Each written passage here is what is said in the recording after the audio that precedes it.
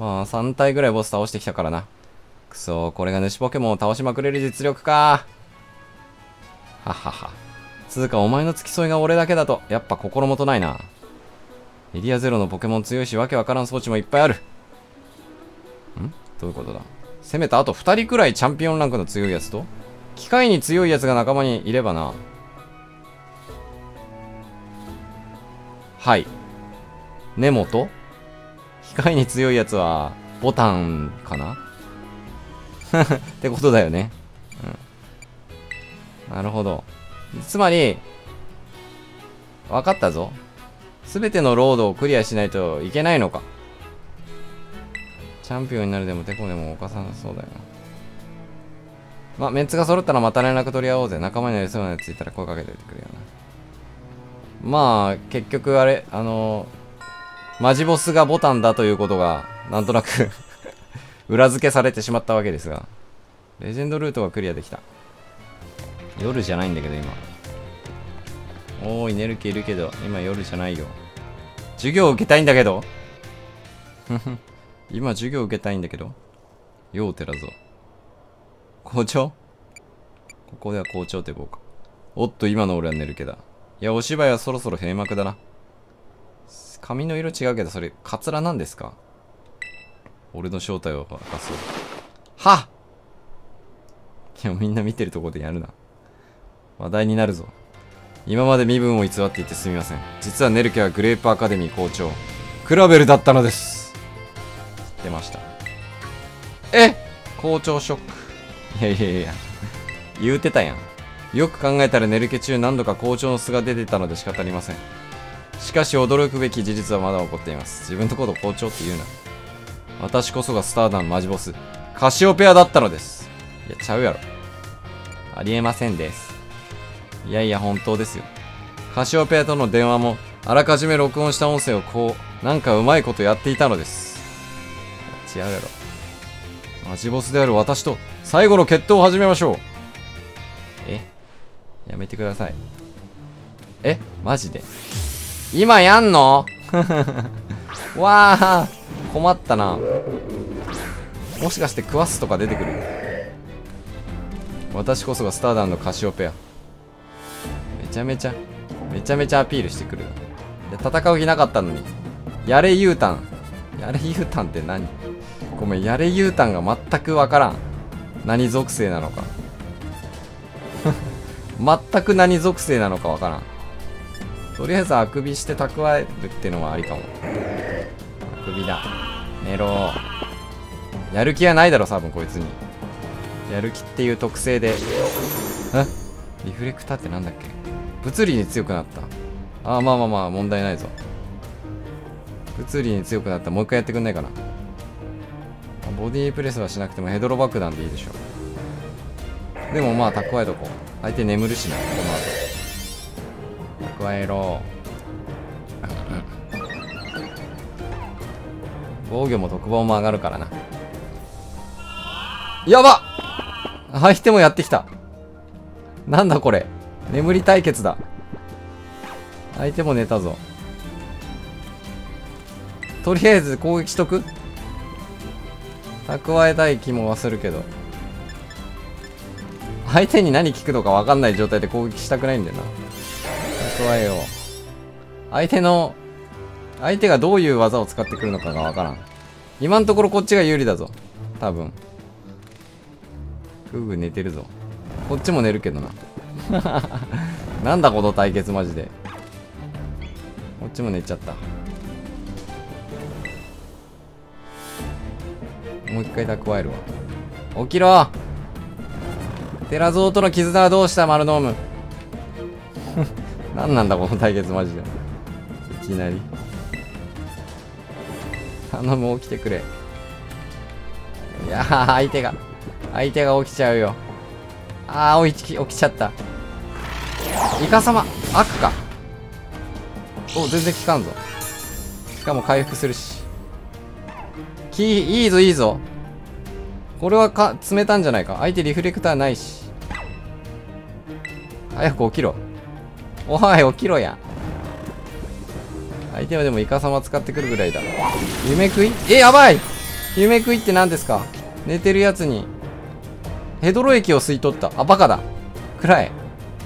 目を覚ませ早いこっちはヘドロ液だから相手が吸い取ると相手にダメージだぞ。食べ残して少し回復。蓄えるによってかなりダメージはったと思うけど。えー、ただ毒が効くのかどうかわからんな。もう一回蓄えるしていい？まだ2回しか蓄えるできてないよな。なんか横を人が通ってくる。対決中なんですけど。3つ蓄えた。さあかなり防御が上がってるぞ。さすがに一発ではやれまい。またあくびしてきやがった。やばい。夢食いやられたらやばい。まあでもその間に俺回復していくしな食べ残し持っててよかった。とりあえずヘドロ爆弾撃っとくか。どんだけ食らうのかわからんし。ズン。うーん微妙。あくびもう一回やってきやがった。やばいな。夢食いが来たら痛いかもしれん。寝てる相手にしか使えない技なのかな夢食いって。もうこれやってる間にさ俺が傷薬で回復したらどうなるんだろう。眠どうせ眠ってるんだから傷薬で回復っていうのはどうでしょう。わあ痛い。効果抜群だ。寝てる間ずっと使われるんだったら困るな。でもヘドロ液で相手にダメージが入ってるぞ。悪くない。なかなかの長期戦。やばい。夢食いされたらすぐ起きるわけじゃないんだ。いいちょいい傷薬を。マルノームに使い。相手が夢食いで勝手に自爆することを祈ろう。ヘドロ液が初めて特性。役に立ってるの面白いんだけど。はははそんなイカ様ではこうダメージを受けんぞ。早く回復。早く起きてくれ。なんかしないとやっぱりダメなのかな。ボディープレスでいこう。マルノーム。ム起きてくれ。相手のイカ様ほどほぼ効かないぞ。よし。ようやく回復。ようやく目が覚めた。やってる間に少しずつ。こっちもレアこっちもパワーアップしている。よし。かなり積んだ状態で。防御力が積まれた状態で次に公開交代した。これはかなり有利では。さあかかってこい。雪の王。雪の王ってことは氷だよな。そのまま戦おう。いけるやろ。雪男だ。雪フラッシュこれで防御力がちょっと上がっちゃうな相手の。しかしボディープレスでドーン。氷には効くはずだ。つえ。ーははは。なかなかお前も可愛いが。オーロラベール。なんだオーロラベールって。物理と特殊に強くなった。どっちも強いじゃねえかよ。じゃあ何に弱えんだ？まあそれでもボディプレスで倒せないことはなくないか。結構スピードが速い。いやーマルノームだけでいけるで。あと何体だ？ちゃんと6体出してくる気か。ヘルガー。ごめんヘルガーがなんだかわからんヘルガーがなんだかわかんないからそのまま戦おう。ヘルガーって聞いたことあるようなないような。ああお前か。悪。悪は毒には別に効かないよな。じゃあいけるか。悪は格闘効くか。格闘は悪に効くんじゃないか。効果抜群。防御力めっちゃ高いし。あーやばい。大文字使ってきた。いやでも毒に炎は別に効かんぞ。ほらードシン。強 やばいなでも。3つ。特防3つ上げてるのに。特防3つ上げてるのってずっと続いてんのかな？減ったとは書いてないから多分大丈夫だと思う。ポットです。ポットですもわからんな。くそポケモンに対する知識がない。そのまま戦おう様子見だ。今ここ今俺は無敵だ。大丈夫。あポットです。進化させるのに必要なポット持ってるような気がする俺。こいつ何者だ？押しつぶしたら死なねえかな。ヘドロ爆弾が効くような気もする。ポットです。いやでも毒の可能性もあるなこいつも。一旦あくびを使うってのはありかも。眠りが効かないことはないだろ。鬼見つかってきやがった。マジか。燃える。やばいやばい。物理が。相手の方がスピード速かったからまあこの鬼火は仕方なかったな。眠気を誘うぜ。回復が意味なくなっちゃったな。でも根性で丸ノーム回復してくれ。鬼火から。さて結局相手が炎属性の技を1個使ってきたことぐらいしかわからなかった。今攻撃力が下がってるからヘドロ爆弾を撃った方がいいかもしれん。特殊で攻撃だ。腹を破る。何？腹が破れた。相手の防御が下がった。特防が下がった。どういうことだ？攻撃が上がった。やばい。ぐーんと上がった。素早さもぐーんと上がった。やばい技使ってきやがる。でもあー効果ダメだ。毒危険。よし。毒入ったのはでかい。息はやんだけどよしやけども直して。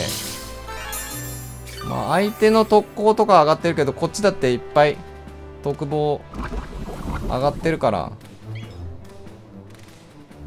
しかもやけどがオーロラベルあオーロラベルはまだ続いてたのか。あいつ。あいつの技が効いてたってことか。シャドボ。やめてけれおー痛えかなり痛いけど。ただ何？ボディープレスが効かない？格闘が効かないということは相手の属性がゴーストであることが判明。なるほど。相手はゴーストなのか。確かにゴーストっぽいわ。よく見たら。マルノーム交代。これで攻撃。特防と防御下がっちゃうのかな？ちょっとそれがわかんねえんだよな俺。あーちょっと鬼火はやめて。そっかそっか。こっちが普通の攻撃タイプだと鬼火食らっちゃって攻撃力減っちゃうのか。まあでも毒食らってるからな。相当有利ではあると思うわ。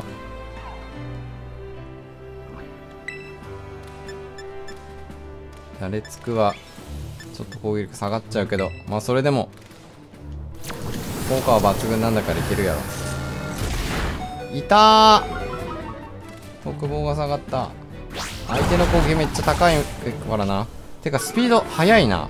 砕ける鎧。素早さがあむそか。素早さがぐんって上がってるから相手の方が速いのか。いやこれこのターンさえしのげば勝ち。つまりここでやるべきは守る。毒で勝手に死ぬがいい。可愛いいコダック。コダックの可愛いいんだよね。不意打ちは決まらなかった。こっちが攻撃してないからね。そもそも。バカめ勝手に死ぬがいい。こっちもやけどで死にそうだけど。よし。とりあえず耐えたぞ。デカノちゃんスピード速いからあと1回なんか攻撃行動だけして。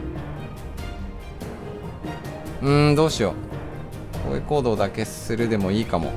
そのまま戦おう。このままじゃデカヌちゃん役に立たなくなっちゃうから。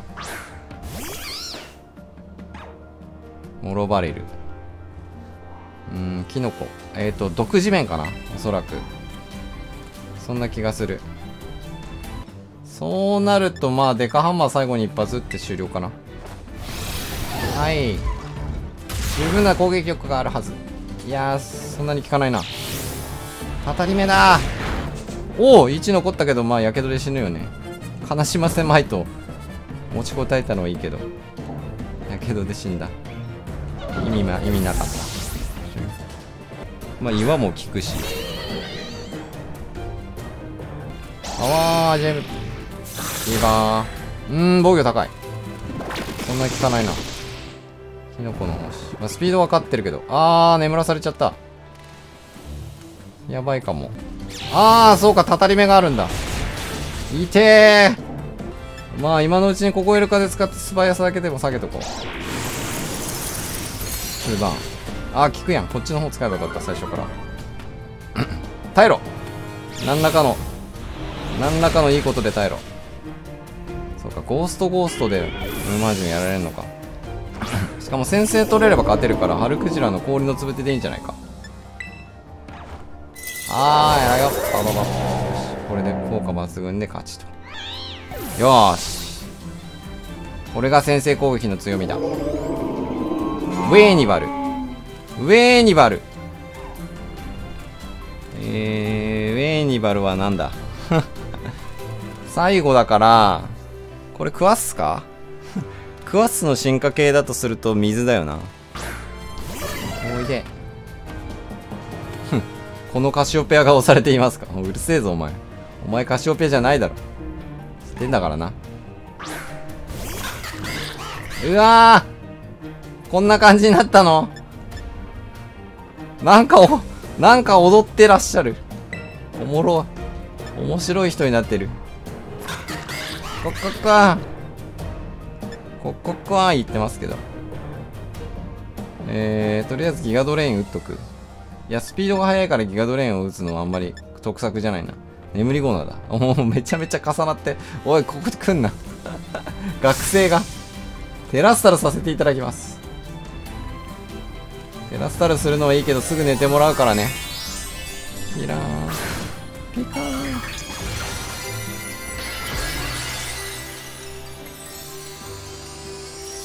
せえな動き。動きがうるせえぞ。かっこわはーい聞きます。完璧だ。M2 号な。ウェイニバルを封殺しよう。でもこっちがダメージ受けてないとそっか種マシンガンがなくなった。使ってないからギガドレーンが意味ねえな。ちょっと待ってアクロバットは効かないかな。さすがに。水には飛行は別に効かないよね。仕方ない。じゃあギガドレーンでい。こうえい。効果抜群。いや普通にダメージ入ってるからいいぜ。何？もう目覚ましたか。アイススピナーか。掛け声に合わせて技を避けた。避けれちゃってんだよな残念ながら。ギガドレインあと1回で終わりだ。お前の技を見せてみろ。アイススピナー。あやべ。草はアイスやばいか。うわーく。なるほどね。水氷なのかなじゃあ。ちょっと防御が引き続き上がった状態なのかどうかわかあのー、調べるためにもちょっと丸ノム出してみよう。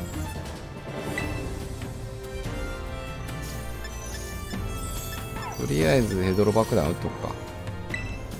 スピードはどうだ？怪我をしないよう離れてくださいね。何ですか？やめてください。アクアステップ。アクアステップとは？攻撃技か？いててててててて強い！いや防御は下がっちゃったのかなやっぱり。あ素早さ上がっちゃった。やべえ。このままボコされる可能性あり。やばい。こわこわこわ言うて。ヤドランだったら一発ではやられんと思うが。ハルクジラだったら属性かぶってるから食らうことはないと思うけど。とりあえずハルクジラ出すか。もう出さざるを得んな。地面は効かないだろうからでも。うーん。水に対して有効な手段がない。飛び跳ねるしてみるか。やばいアクアステップが速い。おおだどんな感じ？おおやばい。もう次先制攻撃で一発当てるぐらいしかすることがない。あでもハルクジラ高く跳ねれば相手の次の攻撃は打てないはず。アクアステップの PP が5とかだったらもう いいんだけど。くらえドシン。よしいいぞ。よしよしよし。あとちょい。しかし相手の先制攻撃になりかねない。ここで氷のつぶてを使うことにより先制攻撃できる。どうだ？聞け。よし聞いたけど。死んだか？ギリ残ったか？倒したー。よかった。いやー氷のつぶて入れといてよかったなやっぱこういう時に使えるよねナイスハルクジラ勝ったギリギリだった。いい勝負だった。いや、いい勝負になってきたな。相手も6体出してくるから。強くなりましたね。おい、お前、か、カシオペアをかばうな寺蔵さん。宝探しを通して大きく成長されましたね。すみません。私がマジボス、カシオペアというのは嘘です。ネルケがクラベルなのは本当なのですが。何重に変装してんのよ。私にはすでにカシオペアが誰かおおよそ見当がついているのです。だからこそあなたと戦わせたくなかった。カシオペアのあの子の悲しみをあなたに背負わせたくなかった。しかしカシオペアの決意は本物です。一般的な生徒では太刀打ちできないでしょう。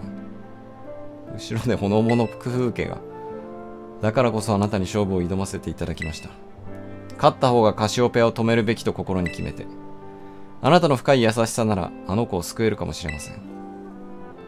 今から教師として恥ずかしいお願いをします。スターダンマジボス、カシオペアに勝ってください。任せてくださいありがとうございます。頼みましたよ。こらこらこらタイムさん。なんでこんなところに？おや？タイム先生。おや？ではありませんよ。校内で決闘してるって聞いてきてみれば、校長先生自ら生徒に何をしてらっしゃるの？まあまあ、こんなわかりやすいところでやってはね。いや、あの、これには悲しいわけが。わけも玉毛竹もございません。玉毛竹も？ほほん。マジボスとの待ち合わせは夜のグラウンドでしたね。テラゾーファン、カシオペアを、あの子をよろしくお願いします。反省文書いてもらいますからね。理事長にも報告します。タイムさん、タイムさん先生には厳しいな。生徒には優しいのに。タイムおばちゃん。素敵ですね。いいじゃないですか。というか、私は授業を受けに来たんですけど、その前に、を受けたり、えー、どれでもいいな。上から行くか。生物。絶対ためになるからな。ジュニア先生の授業は。聞いておいた方がいい。どうもどうも。とってもお利口さんでしたよ。アンケートも助かりました。今後の参考にさせてもらいますね。全然使えないって書いてすいませんでした。僕たちもポケモンのように知識を進化させていきましょう。へへへ。ケモンの進化を学んでいきますよ。レベルを上げていくと技を覚えたり強くなります。そしてレベルがある程度高くなると、姿形が変わり、能力が大きく上がります。これがポケモンの進化です。進化するととっても強くなると、ので、勝負で心強いパートナーとなりますね。しかし、進化させずに今までと同じ姿のまま可愛がりたい人もいますよね。そんな時は進化が始まった時に慌てず合言葉を唱えるんです。みんなで一緒にいたい、言ってみましょう。進化キャンセル。せーの。B ボタンだビビビビビって聞いたことがあるぞ。ベストの朝の B、あ、本当なんだ。進化してるときビビビってやってれば、進化しないんだ。進化キャンセル B ボタン。姿の変化を止めることができます。変わらずの意志という道具を持たせることでも、進化の動きを止めることができますね。ちなみに進化する条件はポケモンによって様々な、炎の石や雷の石など、道具を使って進化するものや、ああ、そうね。ムーマージとかそうだったね。特定の技を覚える必要があるもの。特定の技を覚える必要がある。ポケモン、定のポケモンを倒す必要がある。ああ、そんなのがあるんだ。ホコリザルがこの世ザルに進化する方法なんかは特に変わってて、ある技を、あれ。それを聞きたいんじゃが。まあ、攻略サイト見ればいいよ、そういうのは。ホコリザルさらにパワーアップするんだ。あれが最終進化だと思ってた。次の授業でちゃんとやってくださいよ。そういうのは。ごきげんよう。安定の人もギリギリだった人も皆さんよく頑張りました。合格できて先生とっても嬉しいです。全員合格したんだ。皆さん数字を好きになってきたってことよね。残りの授業もみんなで一緒にぐーんと頑張りましょう。ぐーんとといえばそうよね。ポケモンの能力上昇よね。戦闘中ポケモンの能力が上がったり下がったりすることがある、ね。例えばポケモンが奮い立てるという技を使うと攻撃と特攻が1段階上がります。攻撃や特攻のランクが1段階上がるごとにダメージは50%も上昇すんの？すごいな。2段階上昇したことになるから元のダメージより100%上がってつまり2回分のダメージになるへえそうなんだそんなに上がってんだ剣の舞という技は攻撃ランクが2段階上がるので一度使えばダメージは2倍よ。では剣の舞を2回使うと攻撃ランクが4段階上がりますが技のダメージは何倍になるでしょう？うーん。3倍 ?150%200% みたいな感じじゃない ?50% ずつ上がっていくと見て。3倍でははないでしょうか。どうでしょうか？難しいのにすごいわね。さすが寺戸さんだわ。さすがに倍々していくとね、変だもんね。4段階だと 4×50% で200%増えることになる。もともとのダメージが100%ですから200%プラスすると300%になって、次に使う技のダメージは3倍ということになりますね。今の計算にタイプ相性や急所ダメージの掛け算も入るので、少しの上昇でも気が抜けませんよ。ちなみに能力が上がったは1段階。ぐーんと上がったは2段階。ぐぐーんと上がった。へえ、そんなのもあるんだ。3段階も上がる技あんの？クラスパワーやスペシャルアップでもランクをぐーんと上げられますからね。使ったことないけど。ただチャイムもう終わりなので残念。今回は難しかったからぐーんと復習してくださいね。それではまたお会いしましょう。はえー。役に立つ情報やわ。やっぱり授業しながらやってた方がいいな、これな。まあ、数学と生物が役に立つだけという可能性もあるけど。歴史の素晴らしさは紐解いていこうと思ったが、テスト終わりでふぬけているだろう。たまには趣向を変えて楽しい時間をくれてやる。パルデアに使われる昔ば昔のおとぎ話を教えてやろう。あるところに宝を集めるのが大好きな王様がいました。王様は異国の宝が大好き。噂を聞きつけてある日、東の国から商人がやってきました。商人は4つの宝を王様の前に並べました。並べられたのは器、剣、木管、勾玉。珍しい宝を目にした王様は飛び上がって大喜び。たくさんの金貨を商人に与え4つの宝を譲ってもらいました。はあ。4つの宝。木管。どういったものが知っているか。木管。木管。木の板じゃないの。楽器？木管だよね。日頃から知識を探求しているのだ。木管とは古代東の国で文字を記されにために使われた木の板だ。漢字で書くと木管だな。ご存知の通り木管は紙が普及していくことにより、あまり使われなくなっていった。紙代わりの木の板が宝とはよほど見事な品に見えたか、素晴らしい教えでも書かれていたのだろう。王様が宝を手に入れたその夜、王様の城は災いが降りかかり一夜にして壊れてしまったとさ。髪がピクピクしてる。まだ話し終わっていないのだが、時計が進みすぎたようだ。続きが気になるものはプライベートな時間に私の元へ来るがいい。はい、エントランスホールにいるんですか？おお、こんなところにいるやん。教えて、教えて。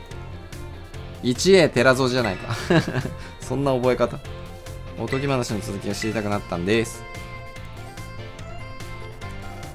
貴様が釣り針に食いついてくれて好都合だ。器剣木管勾玉以上4つの宝を手に入れた王の城が壊れた理由。その真相は宝がポケモンだったことだ。え？宝として多くの人の手に渡っていった4匹は、人間の欲や呪いを宿していき、王の欲望に当てられることでついには災いとなり暴れ始めてしまった。伝説のポケモンや。王様は自分の国を守るため高名なポケモン使いを呼び、激闘の末災いを収めた。そしてパルデアのどこかに4匹を封印したそうだ。もしかしてなんか俺がいろんなところで引き抜いてる杭 あれが封印だったりする？作り話だと思うか？いや、思わん。なかなか鋭い。歴史的な災害記録、個人の日記、様々な資料を読み込んでいるが、この話を裏付ける事実が多くてね。もし本当だと確信できたら貴様にも教えてやろう。わーい。仲良くなった。なんか杭みたいなのを抜いてるんですけど、それに関してなんか知りませんか？まあ、いっか。今日の授業は終わり。